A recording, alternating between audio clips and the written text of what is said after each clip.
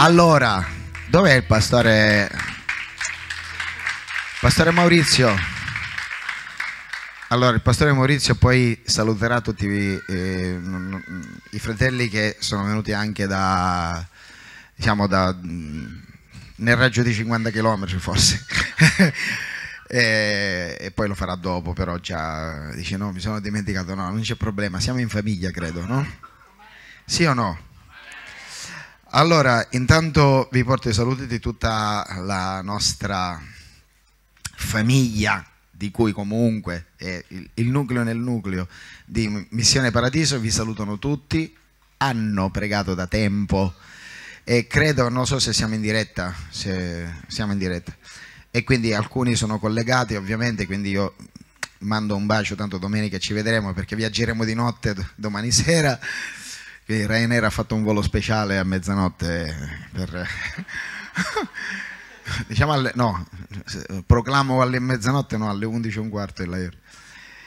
E, e sono stati giorni belli complicati onestamente perché abbiamo avuto anche un, uno dei nostri fratelli meravigliosi, il nostro anziano ad Avellino, che ci ha lasciati proprio ieri a mezzanotte, dieci minuti trascorse alla mezzanotte, quindi oggi abbiamo fatto un saluto che come sempre ha fatto emergere quell'amore del padre nonostante è il solito eh, pianto che si può tramutare in, in gioia, perché si sa che noi non siamo come quelli che, che sono senza speranze. E, e il Signore mi ha dato oggi un versetto che è in Proverbi 8:6 che dice ascoltate perché parlerò di cose importanti e le mie labbra si apriranno per dire cose giuste. E io ovviamente l'ho detto già al pastore Maurizio, quando è stato scelto questo, questo, tema, questo titolo, diciamo, e, ovviamente sullo Spirito Santo credo che si sia detto tutto, e invece in realtà quello che oggi cercherò di dire non, non è un fare un insegnamento teologico fine a se stesso, ma attraverso degli insegnamenti, come la parola di Dio ci riporta, vedremo l'opportunità che è la comunione con lo Spirito Santo. Per questo, lo so, ci vuole ventilatore, acqua, di tutto, però lo potevamo fare a bordo piscina questa conferenza. Bello era, vero? Allora vorrei che entrassimo subito perché io avrò due momenti insieme a voi per cercare di mettere insieme quello che credo il Signore abbia depositato dentro di me per noi. Dico per noi perché io mi ascolto nel frattempo.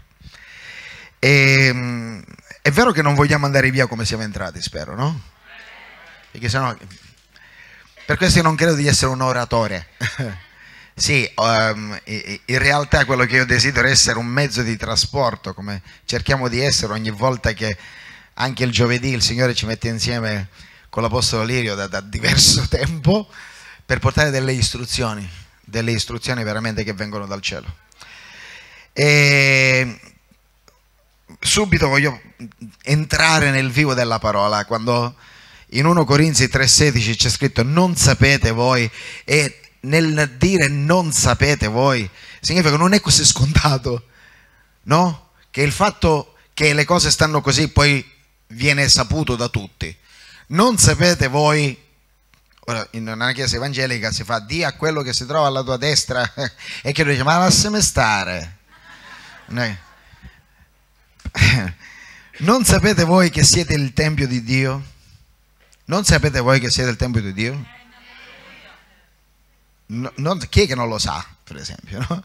Ok, te lo dico io. Non sapete voi che siete il Tempio di Dio e che lo Spirito di Dio abita in voi? E non voglio, ripeto, avere la, la, la, tentazione di spiegare le parole e i termini. Questo è un predicatore nato, eh? Ma dice che erano i piccini, erano tutte... Che sei il numero zero? il numero, il numero zero. No, lascialo, lascialo, basta. Metti ciu ciu ciu. Sorella, hai dei capelli stupendi. Me ne servono un pochettino qua.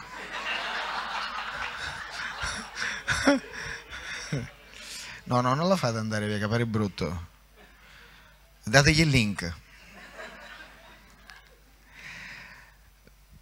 Luca 3,16 Giovanni rispose, Giovanni Battista, io vi battezzo in acqua o con l'acqua, ma viene colui che è più forte di me, al quale io non sono degno di sciogliere le gacce dei calzari, egli vi battezzerà, cioè vi immergerà in Spirito Santo e fuoco. Ora, essere battezzati nello Spirito significa essere immer- immersi. Essere immersi significa non solo bagnati. Ora vi posso dire una cosa con molto rammarico. Io vedo tanti bagnati e pochi immersi. No, no qua, dico in generale. Perché essere immersi nello Spirito Santo cosa comporta? Io non so se voi vi ricordate nella... Mi sembra che sia il capitolo 44 di Ezechiele, quello del fiume perché c'è il 47 che parla di una cosa e il 44 se non erro, e parla della visione che ha avuto Ezechiele di quel fiume in cui tu potevi scegliere se guardarlo, se entrare dove l'acqua ti arrivava alle caviglie, fino a dove l'acqua ti arrivava al ginocchio, alla vita, fino a quando invece venivi totalmente immerso in questo fiume. Vi ricordate? Ok, quindi il problema è che tutto quello che non è immerso è ancora è ancora fuori da quella che è la possibilità che lo Spirito Santo ti renda colui, ripeto, che può fare la differenza fra un prima e un dopo.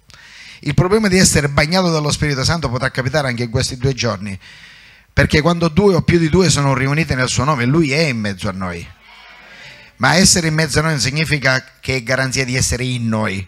Lui ha distinto vi ricordate il capitolo 14 di Giovanni? Gesù disse, sarò, sarà con voi e sarà in voi, in noi. E essere battezzati significa essere totalmente tutto ciò che, veniva, che viene ricoperto perché è l'olio dell'unzione.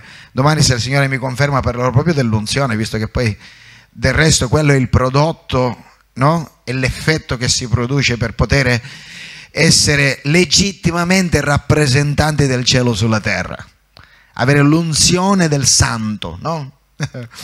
e, e, e quando noi vediamo che in realtà l'olio quando scendeva, cioè l'olio, l'unzione, la differenza di qualsiasi altro elemento, l'olio così viscoso, così diciamo denso, non c'è una parte nel momento in cui ricopre che possa essere scoperta.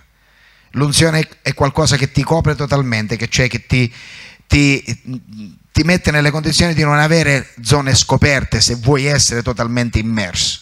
Questo è l'obiettivo. Infatti Giovanni 14 Gesù disse, io pregherò il Padre ed egli vi darà un altro, perché già il primo, l'originale, senza il quale non avremmo avuto nessun accesso allo Spirito Santo, vi darà un altro consolatore la parola è paracletos, no? Perché sarà con voi per sempre. Sarà con voi per sempre. Lo spirito della verità che il mondo non può ricevere perché non lo vede, non lo conosce. Voi lo conoscete. E la parola qui conoscete non significa vi farete una cultura su di lui, avrete una conoscenza teologica. No? La parola ovviamente ginosco, che voi conoscete in greco, che significa proprio avrete intimità, che è la stessa parola che veniva usata in, eh, diciamo, per eh, identificare anche l'intimità di coppia in un matrimonio. Quindi sarà, voi lo conoscete, significa avrete così tanta comunione con lui perché dimora, dimora non ripeto, sarà occasionalmente una sensazione, dimora, questo è l'obiettivo suo, dimorare in noi e sarà in voi, sarà con voi e sarà in voi. Non vi lascerò orfani e tornerò da voi. Ora, in realtà la parola paracletos eh, ha diversi significati, diciamo, eh, ma in realtà uno di questi è il nostro insegnante, no? colui che ci insegna eh, in realtà è qualcosa di costante, non occasionale, non è qualcosa che accade ogni tanto. Vi ho detto queste cose stando ancora con voi, ma il consolatore, versetto 26, lo Spirito Santo che il Padre manderà nel mio nome vi insegnerà, vi insegnerà ogni cosa e vi ricorderà tutto quello che vi ho detto. Il capitolo 16, sapete che il capitolo 14, 15 e 16 sono straordinariamente chiari e limpidi e sono le, le cose fondamentali che Gesù ha desiderato lasciare come quelle ultime cose che si ricordano. Giovanni 16, 12 dice ho ancora molte cose da dirvi, ma non sono per ora, per ora, momentaneamente alla vostra portata. Quando però sarà venuto Lui, lo Spirito della verità, e la parola verità è aleteia, in realtà è spirito della volontà di Dio, aleteia significa appunto verità e volontà di Dio. Quindi lo Spirito Santo è la volontà di Dio con noi.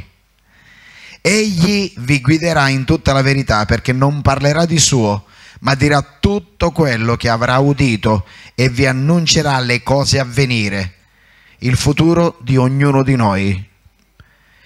E poi dice, egli mi glorificherà perché prenderà del mio e ve lo annuncerà. Se non è casuale se lo Spirito Santo ha ispirato diciamo, il pastore Maurizio per usare questi due giorni che corrispondono praticamente all'anniversario di dieci anni fa più o meno, dieci anni fa avete iniziato, questo mi diceva appunto. L'inaugurazione proprio Esatto, dieci anni fa. E non è casuale marcare un momento, anche noi abbiamo fatto dieci anni con Missione Paradiso il 19 di marzo e non avevamo ricordato che c'erano... che ha? Processione delle falsolette? No, non ti preoccupare, perché queste non erano buone. E ci sono dieci gradini nel nostro cosa e poi c'era la porta del cielo, chissà se questo è l'anno buono. Vabbè. Quindi se, se, lo Spirito Santo ha ispirato questo titolo, significa che c'è un momento, cioè abbiamo bisogno, visto che si parla di pneuma, eh, di fare un daiando per capire come noi in questo momento siamo posizionati non rispetto a quello che, che crediamo di avere o di portare, ma quello rispetto a come po- possiamo esserne pieni. E se c'è un, uh, un, capitolo straordinario che amo profondamente nella scrittura, che cito spesso a me stesso, è il capitolo 8 di Romani, che è un'enciclopedia straordinaria, che nel caso della, mm, diciamo, dell'epistola ai Romani viene dopo il capitolo 7. Eh, Paolo non scriveva a capitoli, nessuno scriveva a capitoli per una questione eh, consultiva sono stati inseriti i capitoli, ma in realtà è tutto un discorso. Il capitolo 7 parla della miseria, no? del proprio cuore, della propria natura umana e tutto il resto. Il capitolo 8 poi ci apre uno scenario straordinario, ci dà anche le istruzioni per poter capire qual è la nostra comunione con lo Spirito Santo. Romani 8:5 eh, dal, quello che leggerò dal 5 fino alla, praticamente al 27 vi darò otto punti che la, la, proprio il capitolo 8 più o meno ti dà in termini proprio pratici di che, che significa essere in comunione con lo Spirito Santo. Quali sono i vantaggi? E Romani 8:5 scrivi come primo punto ci dà pensieri veri e corretti per lo Spirito Santo noi possiamo avere pensieri veri e corretti. Versetto 5, infatti quelli che sono secondo la carne pensano alle cose della carne, invece quelli che sono secondo lo Spirito pensano alle cose dello Spirito. Quindi il versetto 5 ci dice ci dà pensieri veri e corretti, il versetto 9 ci dice che ci fa appartenere a Lui. Voi però non siete nella carne, ma nello Spirito se lo Spirito di Dio abita veramente in voi. Se qualcuno non ha lo Spirito di Cristo, egli non appartiene a Lui.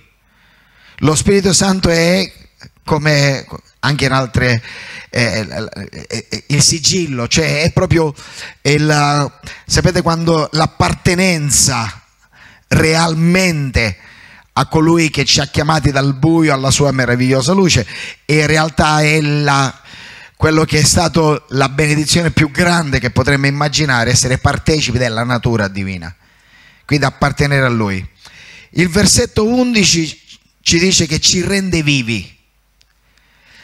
Se lo spirito di colui che ha risuscitato Gesù dai morti abita in voi, colui che ha risuscitato Cristo Gesù dai morti vivificherà, cioè renderà vivi anche i vostri corpi mortali per mezzo del suo spirito che abita in voi.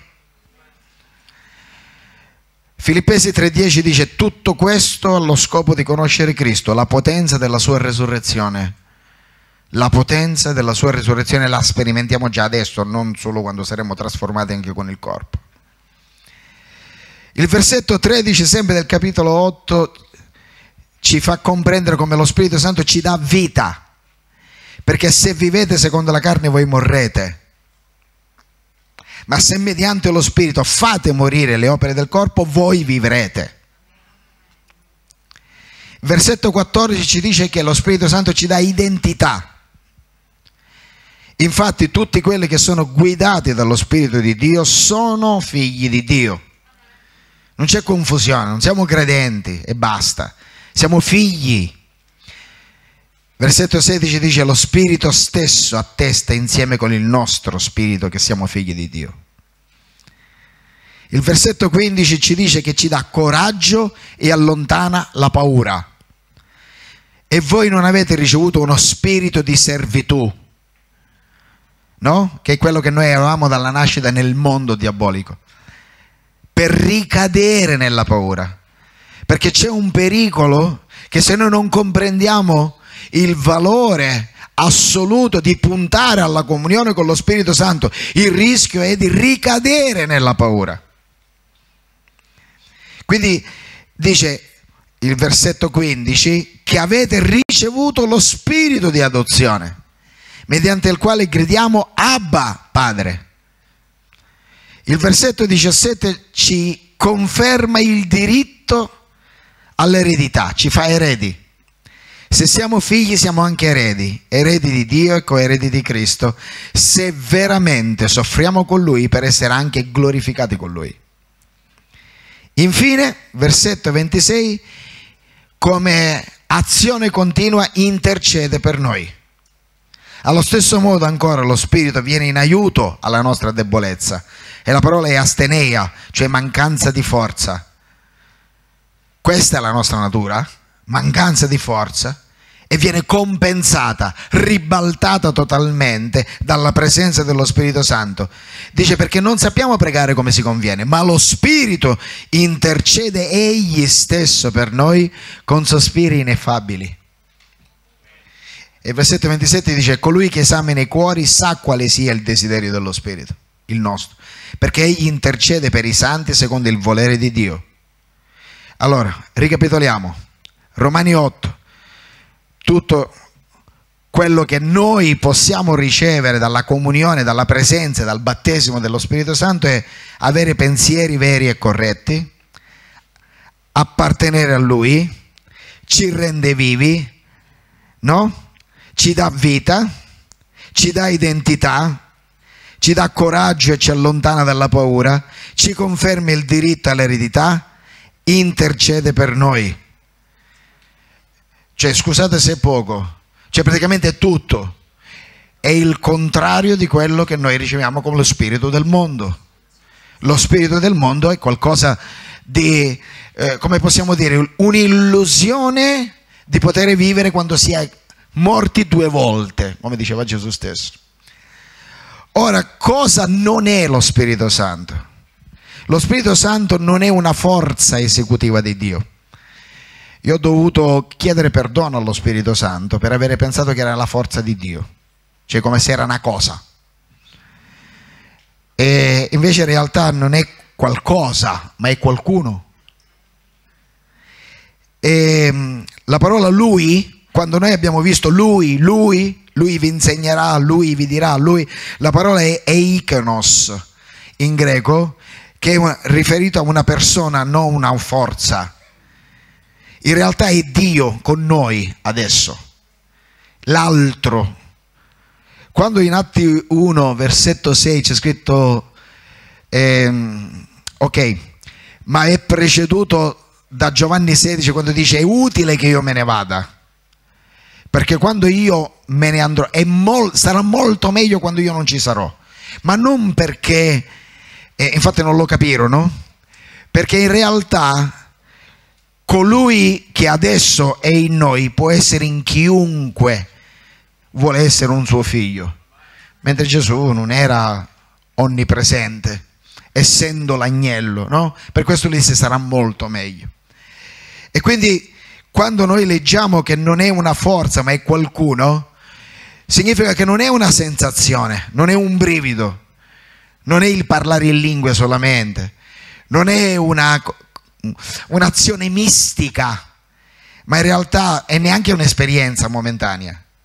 Possiamo avere delle esperienze per lo Spirito, non c'è dubbio, ma in realtà lo Spirito Santo è colui che ha ispirato i profeti è colui che parlava con i profeti, riempiva i profeti. Quindi se è un lui ha emozioni e sentimenti. Infatti si può anche mentire allo spirito. In Atti 5.3 c'è scritto, ma Pietro disse, Anania, perché Satana ha così riempito il tuo cuore da farti mentire allo Spirito Santo? Tu non puoi mentire a una forza. Che è una forza? Che è un'energia? mentire, tu puoi mentire allo Spirito Santo. Lo Spirito Santo dà dei doni, dà dei suoi doni, come lui vuole, secondo la propria volontà, quindi significa una volontà propria. Lui ha distribuito come lui vuole, 1 Corinzi 12 lo dice chiaramente. Ora, il primo, diciamo così, che è quello eh, personale, è il dono delle lingue, cioè è come se noi stessimo dando il controllo di noi stessi a Dio. In realtà è il controllo della bocca. Come in Proverbi Salomone diceva, metti un guardiano all'uscio della mia bocca. Lo Spirito Santo controlla, può controllare il nostro modo di parlare. Mi seguite? Cioè significa che se noi doniamo la nostra bocca a Lui, noi parleremo per lo Spirito, ma non significa non diremo delle cose comprensibili, ma parleremo per lo Spirito. E attraverso lo Spirito, il cielo, lo Spirito Santo di Dio, il, il cosiddetto soffio del cielo, che non è un soffio, ma è una persona che produce questo soffio, che lo Spirito Santo, parlerà per bocca nostra. Cioè noi offriremo le nostre bocche a Lui. Ci siete o no? Quindi significa che, che lui ha delle emozioni. Efesini 4:30 dice non rattristate, la parola è lupeo. Rattristare significa rendere addolorato, significa, è scritto proprio così, eh, affettare con tristezza, causare dolore, addolorare, offendere, rendere scomodo. Cioè noi possiamo addolorare lo Spirito Santo. Tutto questo ha a che fare con il peccato dei figli di Dio. Quello che ancora, nonostante siamo il Tempio dello Spirito Santo, come abbiamo detto all'inizio, ancora, ripeto, qualcuno non vuole liberarsi totalmente di alcuni legami e in realtà è come se rende scomodo, la parola non rattristate significa rendere scomodo, è come se lo Spirito Santo a volte si sente fuori posto quando la nostra testa, il nostro corpo vuole andare da un'altra parte e ci va. Significa addolorare, causare dolore, offendere. Lo Spirito di Dio dice non rattristate lo Spirito Santo di Dio con il quale siete stati suggellati per il giorno della redenzione. Il peccato lo addolora. Giacomo 4:5 dice oppure pensate che la scrittura dichiari in vano che lo spirito che egli ha fatto abitare in noi ci brama fino alla gelosia. Io non so come si può immaginare una relazione differente rispetto a quella che lui desidera avere con noi o immaginare qualcosa di diverso rispetto all'opportunità che ci viene data di essere pieni e in comunione con lo Spirito Santo. il problema del... Una cosa è essere pentecostali, una cosa è essere pentecostaloidi. Una cosa è essere spirituali, compatibili con quello che fino adesso abbiamo detto, abbiamo solo toccato la, la punta dell'iceberg, ed essere invece spiritualoidi, essere pseudomistici, sensazionalisti. Qua stiamo parlando di qualcosa di così concreto, come era concreto Cristo Gesù nel momento in cui lui era pieno di Spirito Santo. 2 Corinzi 13:13, 13, non ve lo dimenticate, che è quello che vi ho citato prima, dice la grazia del Signore Gesù Cristo e l'amore di Dio e la comunione, che significa coinonia. Coinonia significa è quello che tu hai con un partner. Cioè tu con lo Spirito Santo puoi avere una partnership, un'associazione, socio, compagno, un rapporto di comunione, intimità, cooperazione. Quindi significa che lo Spirito Santo sia con tutti voi. Mentre che questo tipo di relazione tu lo puoi avere con lo Spirito Santo che ti è stato dato come una sorta di ponte fra il cielo e la terra, fra il Padre e il Figlio, che lo Spirito Santo rende compatibili attraverso la sua presenza. È come un traduttore semplice di qualcosa di complesso che noi non avremmo mai potuto immaginare. In un libro viene mostrato come una specie di mamma, ma non perché è una mamma, ma perché ha una, come le mamme hanno una specie di, di complicità materna, lui è come se fosse lo sponsor, quello che crede più in noi, quello che ci stimola più in noi, è, è come è fiero di noi, non so come ve lo devo spiegare, è qualcosa di così dolce e forte nello stesso tempo, come le mamme. Alla mamma puoi dire tutto, la mamma ti copre. La mamma è esageratamente piena di amore. Ora noi amiamo lo Spirito Santo, non, non usiamo lo Spirito Santo. Noi non usiamo lo Spirito Santo, ma amiamo lo Spirito Santo. Lo ripeto, noi dobbiamo amare lo Spirito Santo, non usare lo Spirito Santo. Avere comunione significa comunione continua, significa quotidiana. La comunione significa un uh, atteggiamento volontario che io stimolo verso me stesso. Significa quando comunione con lo Spirito Santo significa che noi dobbiamo essere coscienti sempre che Lui è in noi. È come se noi fossimo non soli, ma che noi trasportassimo attraverso di noi, perché è così, come abbiamo visto prima, la, la sua presenza, che non è la, la sua presenza, è come una forza di un assente. No, lui è presente, non assente. Quindi continuamente presente. Atti 1.8 dice, che è quello più famoso di tutti, sto rinfrescando la memoria perché dobbiamo aprire con una chiarezza e poi vi dirò dove andremo a concludere fra poco. Atti 1.8 dice, ma riceverete potenza. Sì, è una potenza inaudita, la parola dunamis sapete bene che cosa significa. Quando lo Spirito Santo verrà su di voi, cosa produce la sua presenza? produce testimonianza perché la sua presenza, non ho il tempo di poter dire tutto, perché dello Spirito Santo noi potremmo stare sette mesi con, in, in, maniera totalmente ininterrotta e, e, sarebbe sempre poco rispetto a, a, a ciò che Lui può produrre in noi. Sapete che significa? Che quando questa potenza viene su di noi mi cambia completamente il mio modo di pensare e trasporta dentro di me, Romani 5:5, quell'amore di Dio con il quale io posso amare gli altri e la testimonianza viene da un interesse che l'amore di Dio sviluppa dentro di me. La stessa brama di Cristo nel cercare di riconciliare il mondo è la stessa brama che in Cristo era, 2 Corinzi 5, 17 fino al 20, quando lui dice che Dio era in Cristo nel riconciliare il mondo, adesso Cristo è in noi per mezzo dello Spirito Santo e la stessa brama di Cristo dovrebbe esserci in noi. Se non c'è questo dentro di noi, c'è un problema ragazzi. E con tutto il rispetto al nord questo problema lo vedo ancora peggio rispetto che al sud. È come se in realtà c'è uno Spirito Santo del nord e uno Spirito Santo del sud, ma non ce n'è sud come non c'è lo Spirito Santo junior e senior per i bambini che c'è un piccolo Spirito Santo, sai? lo Spirito Santino, scusami Santino, Santina, Spirito Santo è Spirito Santo, punto.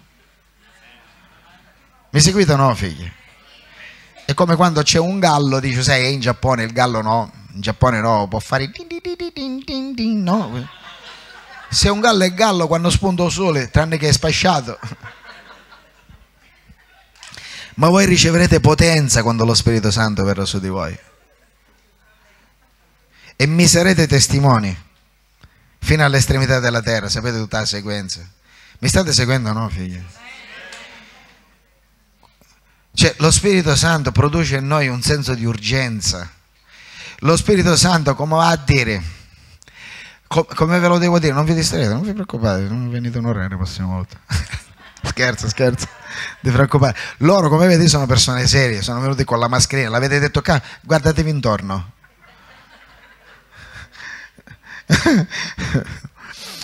allora, mia moglie di Mascalucia. È vero, hai ragione, hai ragione. Allora, eh, ascoltatemi, lo, se lo Spirito Santo non trova ostacoli dentro di noi, c'è scritto che l'amore di Dio mi costringe. Seguitemi bene. Significa che dentro di noi scattano dei meccanismi che vanno oltre il proprio ego oltre il proprio interesse personale. Fai delle cose con un amore differente, perché l'amore che non avevi, cioè l'amore non ce l'abbiamo noi in natura, quello che poi ci viene rilasciato nel pacchetto dono, potenza, dunamis chiamato Spirito Santo. L'effetto che produce è trasferire la mente di Cristo dentro di noi. Sto dicendo in 30 secondi 1 Corinzi 2, che è straordinario quando dice, cioè, è inutile che cercate nel naturale qualcosa che, ripeto, cioè, nel naturale è stato privato totalmente, che è l'amore di Dio, la mentalità, no? Perché carne e sangue non possono manco capire che significa. Per questo dice, mi sarete testimoni. In Marco 16, 17 dice che questi sono i segni che accompagneranno coloro che avranno creduto. Non solo parole, ma un impatto su qualsiasi territorio in cui il Signore ci invia come suoi testimoni. E Gesù non predicava solamente, non insegnava solamente, predicava e insegnava, ma soprattutto cacciava demoni. Se c'era una passione che aveva Gesù, era quella di distruggere le opere delle tenebre, distruggere le opere di Satana. Allora, io lo capisco, per certi versi, essendo lui il creatore, ha visto un usurpatore della sua creazione per effetto dell'ignoranza purtroppo del genere umano che ha, ripeto, preferito un seduttore a un creatore. E per questo so che nel momento in cui il suo odio per il male, il suo, eh, eh, ripeto, la sua spinta, quella di Gesù, entra dentro di noi nel momento in cui la nuova nascita per mezzo dello Spirito Santo ci cambia il modo di pensare. E per questo noi non predichiamo e insegniamo solamente, ma scacciamo demoni, parleranno in lingue nuove, imporranno le mani agli ammalati ed essi guariranno. In poche parole, il regno dei cieli si è avvicinato a voi. Noi trasportiamo il regno dei cieli perché lo Spirito Santo dimora, dimora in noi, non passa occasionalmente. Apocalisse 2.1. Quando il giorno, Atti 2.1, scusatemi, Atti 2.1. Quando il giorno della Pentecoste giunse, io sto facendo solo ed esclusivamente un'introduzione perché poi questo verrà sviluppato in questi due giorni. Quando il giorno della Pentecoste giunse, tutti erano insieme nello stesso luogo. Improvvisamente si fece dal cielo un suono come il vento impetuoso che soffia e riempì tutta la casa dove essi erano seduti. Di questo so che qualcuno ve ne parlerà in dettaglio. Apparvero loro delle lingue come di fuoco che si dividevano e se ne posò una su ciascuno di loro. tutti furono riempiti di Spirito Santo e cominciarono a parlare in altre lingue come lo Spirito dava loro di esprimersi. Fino adesso, per come vi ho da, per questi 40 minuti detto, significa 1 Corinzi 14,4, poi Paolo lo spiega, parlare in lingue edifica e fortifica se stessi. Significa si riposa per mezzo delle lingue. È una possibilità che tu hai di esprimerti senza interferenza della tua mente. E in realtà è scritto che tu ringrazi in quel momento, fai un bel ringraziamento. Perché? Perché diventa asettico, non inquinato da effetti emozionali che vengono da un'anima che non è così asettica da qualsiasi possibilità che questo sistema la possa contaminare. Non lo sarà mai così limpida fino a, quel punto. Per questo abbiamo bisogno di un canale. Luca 11:9 dice perciò vi dico chiedete e vi sarà dato, cercate e troverete, bussate e vi sarà aperto. Non c'è scritto vi sarà aperto anche se voi non, non vi interessa non vi, e vi sarà dato anche se non state chiedendo. No, no, no, è tutto al contrario. Poiché chiunque chiede riceve. Chiunque chiede riceve. E chi cerca trova e sarà aperto a chi bussa. E chi tra voi, quel padre che se il figlio gli chiede del pane gli dà una pietra, o se gli chiede un pesce gli dà al posto del pesce una serpe, o se gli chiede un uomo, un uovo gli dà uno scorpione? E qui c'è la chiave. Se voi dunque che siete malvagi, ora ci sta, ognuno dica io sono malvagio. Ho sentito solo voci di donne perché gli uomini invece no cioè siete codeva con la pe... No, dillo, io sono malvagio. Nella mia carne non abita alcun bene. Senti quanto puzzo. Se dunque voi che siete malvagi sapete dare buoni doni ai vostri figli, quanto più il vostro Padre Celeste donerà, donerà lo Spirito Santo a coloro che glielo chiedono? Lo Spirito Santo è il dono più grande che potremmo ricevere. Io non lo so come, con quale coraggio a volte abbiamo quel senso di tristezza velato che abbiamo guardando telegiornali, situazioni varie, quando noi abbiamo il dono più grande. Cioè noi ciò che potremmo desiderare di più grande lo abbiamo già ottenuto gratuitamente. Io non so quanti di noi vivono questo, questo eh, come possiamo dire, questo senso di gratitudine che viene dal fatto che lo Spirito Santo è stato già donato. Non c'è qualcosa che deve accadere, ma c'è qualcuno che tu devi ricevere. Matteo 13, 44. Il regno dei cieli è simile a un tesoro nascosto nel campo che un uomo dopo averlo trovato nasconde e per la gioia che ne ha va e vende tutto quello che ha e compra quel campo. Vi posso dire una cosa? C'è una fase nella nostra esistenza, che è questa fase naturale, in cui tu devi avere sia il campo che il tesoro. Non puoi estrarre il tesoro e mollare il campo. Il campo riscattare il campo dove il tesoro è stato inserito e l'all inclusive con cui noi dobbiamo procedere, coscienti che ancora non puoi separare il tesoro dal campo, figlio. Mi state seguendo o no? E quindi c'è un tempo in cui le due cose vanno insieme, ma il tesoro è nel campo. E quando tu vendi tutto quello che non serve affinché il tuo terreno possa essere custode. Come abbiamo aperto oggi, non sapete che voi siete. Voi, io sono il campo, io sono il tempio, il luogo in cui lo Spirito Santo risiede. Un tesoro nascosto nel campo. Atti 4:29 dice, ed ora Signore considera le loro minacce e concedi ai tuoi servi di annunziare la tua parola con ogni franchezza, stendendo la tua mano per guarire e perché si compiano segni e prodigi nel nome del tuo santo figlio Gesù. E dopo che ebbero pregato,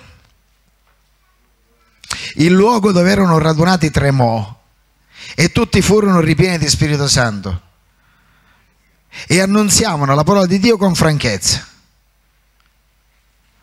Io non so se avete notato una cosa. La Pentecoste già c'era stata nel capitolo 2. Qui che cosa era accaduto? Cos'era accaduto qui? Un'altra Pentecoste? O era un, un altro rabocco di Spirito Santo? Vi posso dire una cosa? La nuova nascita avviene una volta sola, ma i battesimi nello Spirito Santo possono avvenire in qualsiasi momento. Ognuno di noi, perché tutto quello che vi ho detto e io devo stare nei 40 minuti? No, non perché ci sono già quasi, sto per concludere. Ma io voglio concludere dandovi oggi una cosa che credo che sia fondamentale per ognuno di noi. Se è accaduto nel capitolo 4, significa, mm, i teologi dicono che ogni capitolo negli Atti degli Apostoli corrisponde a un anno più o meno. Significa che era trascorso del tempo, è ovvio che si stavano organizzando. Satana stava cercando assieme ai giudei, animando i giudei nel cercare di eh, eh, rallentare, se non addirittura fermare con la paura della persecuzione i, diciamo, i figli di Dio che stavano cominciando ad avere grande successo, 3000 eh, alla prima predicazione di Pietro 3.000 si battezzano.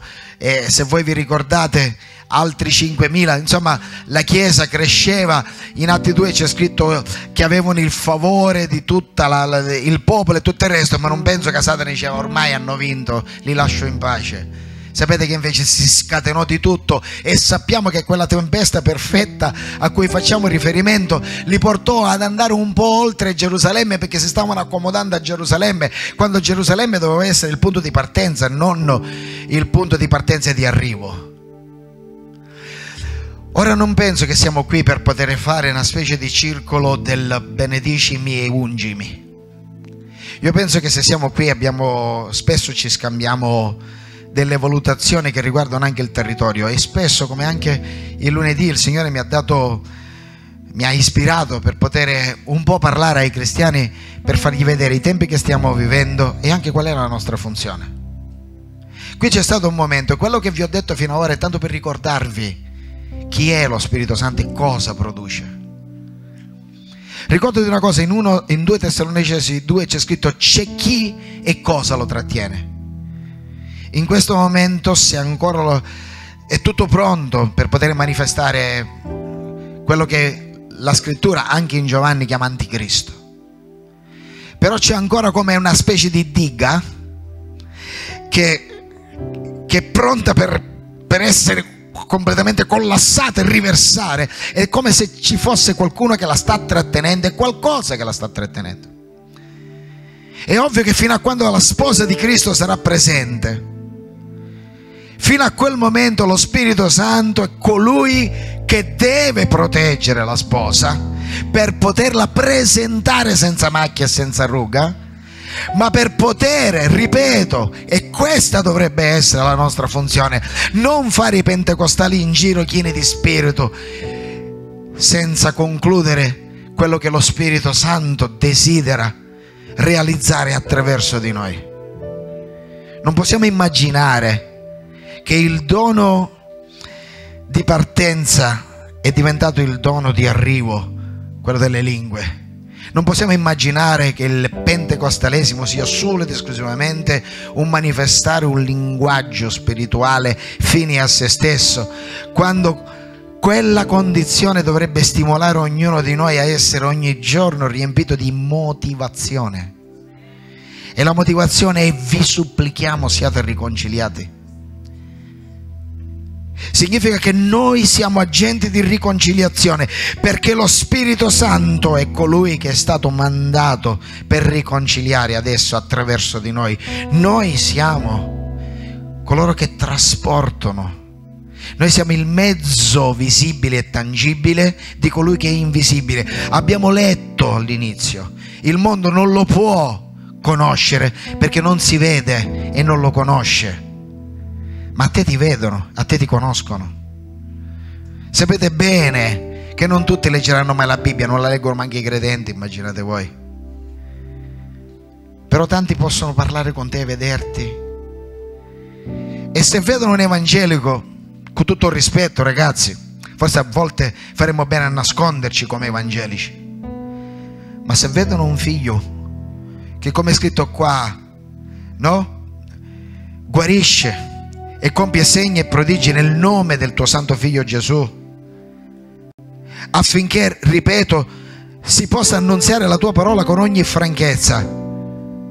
E la parola del Vangelo è portare quella riconciliazione e portare la soluzione. Dove andremo noi? Tu hai parole di vita eterna. Colui che aveva parole di vita eterna adesso abita in noi per mezzo dello Spirito Santo. E quindi significa che come lui aveva parole di vita eterna, dalla mia bocca devono uscire parole di vita eterna, non parole di religione. Da dove arriverà? Nel Trentino o nel Veneto, non lo so da dove voi operate perché se noi abbiamo immaginato di aver ricevuto lo Spirito Santo per rimanere chiusi in quattro mura, farci una conferenza ogni tanto, vederci la domenica, questo è frustrante, figli, senza avere obiettivi.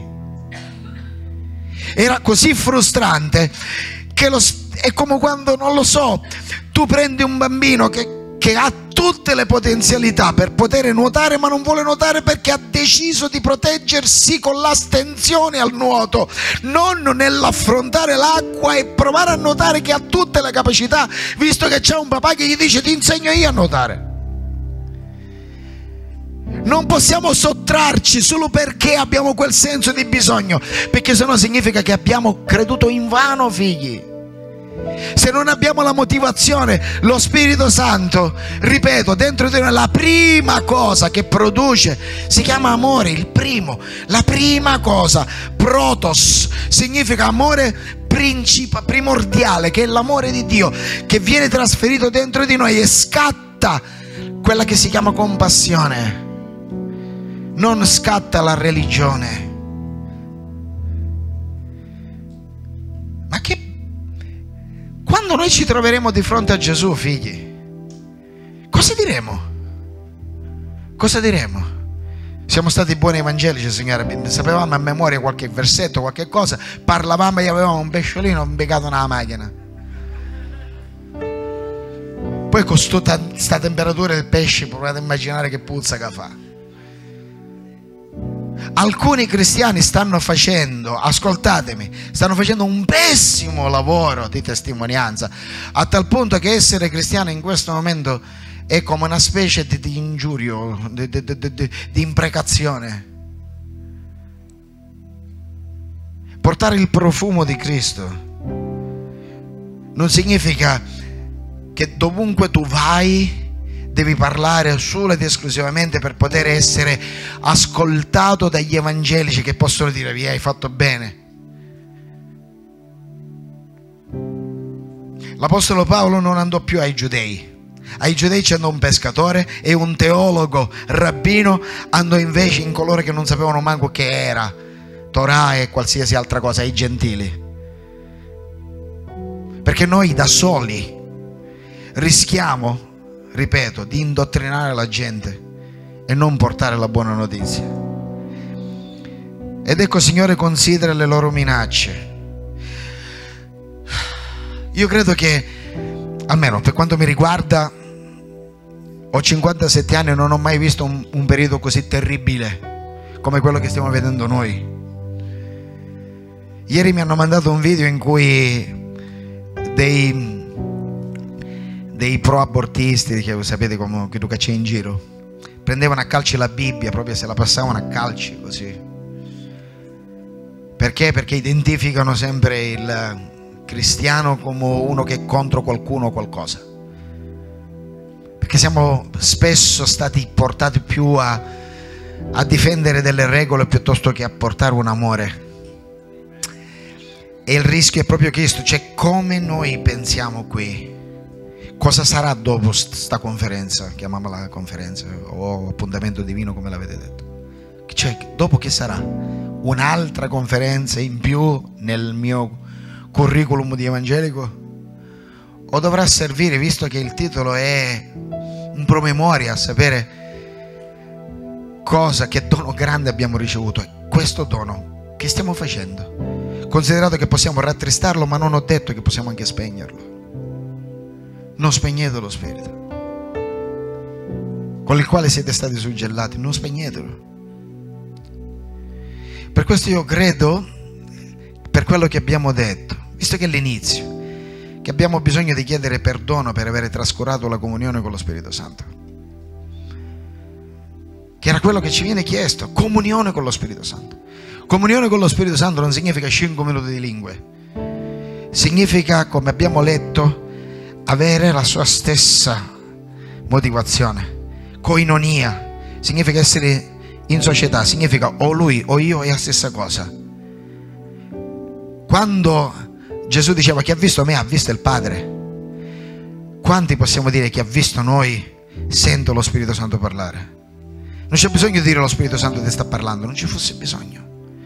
Quando Gesù li mandava e gli diede lo Spirito Santo perché il prodotto di quella missione dei 12 e dei 70 fu proprio il prodotto di ciò che lo Spirito Santo è in grado di realizzare risuscitare morti, cacciare demoni, imporre le mani eh, e cambiare le atmosfere delle famiglie. Quando entrate in una casa, dite pace a questa casa, non significa entrate e dite pace che diventa un saluto. Pace, pace, pace, pace. Anche di questo che doveva essere un'azione è diventato solo una forma.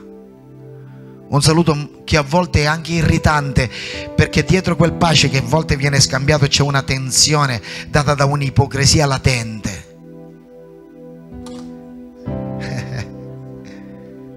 Se non potete ridere, fate così, eh? con le mani. Siamo il Tempio di Dio, sì o no? Se oggi noi stiamo ricordando di essere il Tempio di Dio, il Tempio di Dio come può essere sporcato? con quella immondizia che noi, quale desiderio la cerchiamo? Il cane che torna al vomito.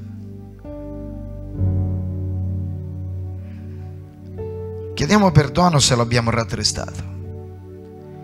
E credo che questo sia il primo atto che dobbiamo fare, perché se siamo venuti qua a prendere degli appunti per poi metterli da parte e neanche ricordarci di quello che abbiamo scritto, ragazzi sarà un'altra occasione persa e non abbiamo tutto questo tempo. Stai tranquillo, il Signore raggiungerà chi deve raggiungere, perché Lui non lascerà all'asciutto e comunque darà un tocco a chiunque in una porta, anche se è chiusa. Ma non è detto che quella porta che era stata assegnata a te non verrà data a qualcun altro perché tu sei stato interessato a qualcos'altro. Sapete che ognuno di noi ha un destino, gli è stato assegnato attraverso un talento, qualcosa come è scritto.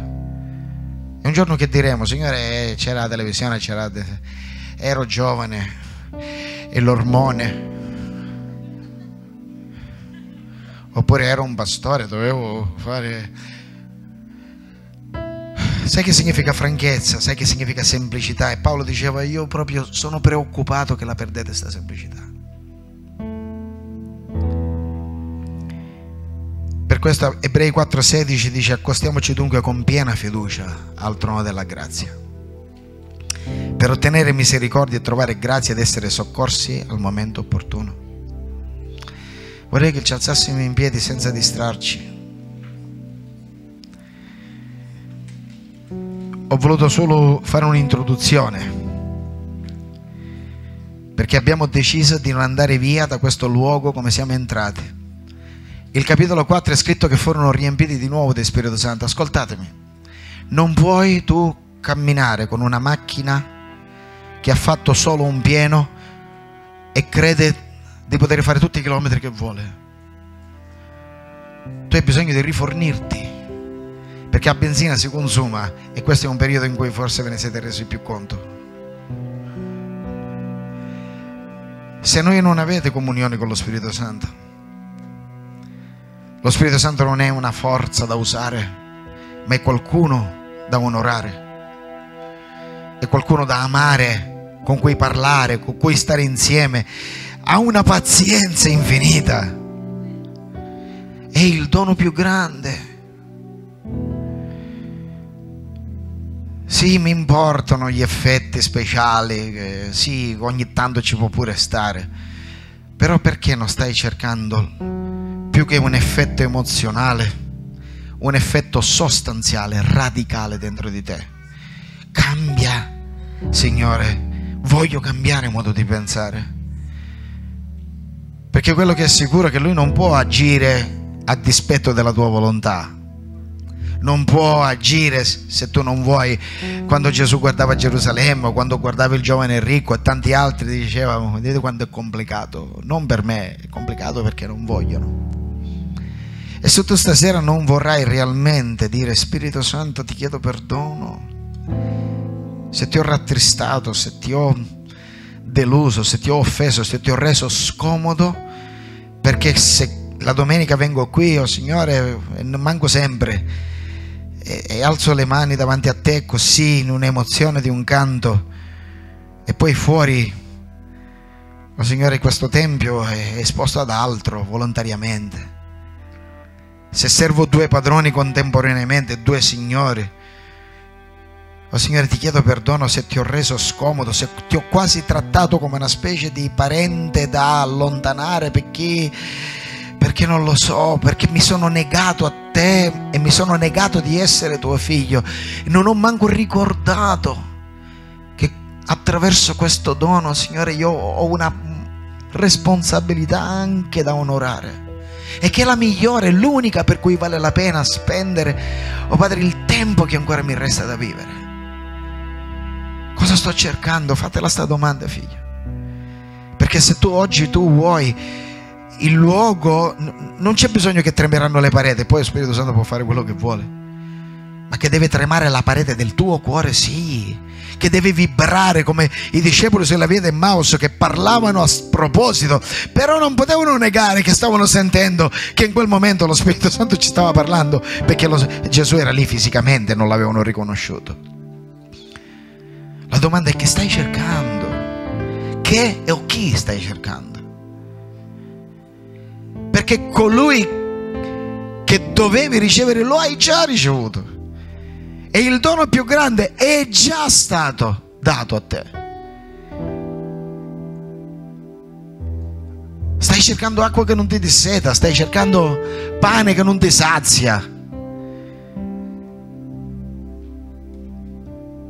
Quello che ti chiedo in questo momento, non, se tu vuoi ricevi ora allora la domanda che ti faccio è questa, visto che non avete mascherine, non avete niente, allora a questo punto andiamo fino in fondo. Senza vergogna, senza niente, se tu vuoi devi fare un passo, chiedi e ti sarà dato, bussa e ti sarà aperto. Il bussare a volte è un'azione umiliante perché devo bussare. Il chiedere mi è resistente perché, perché io non ho mai chiesto niente. Questo è il tempo. Perché chi si abbassa sarà innalzato. Se tu riconosci di avere un po' perso questa comunione con lo Spirito Santo, io ti chiedo di lasciare il tuo posto e venire qua e prendere posizione e ammettere senza badare a nessuno, perché guarda che nessuno di noi è innocente o colpevole, c'è bisogno di marcare questo momento. Il Signore ti ha portato qui per questo motivo. Il Signore ti ha portato qui perché ti vuole ancora rinnovare la sua promessa. Prendete il vostro spazio, venite qui e prendetevi veramente il vostro tempo, figli. Venite a me.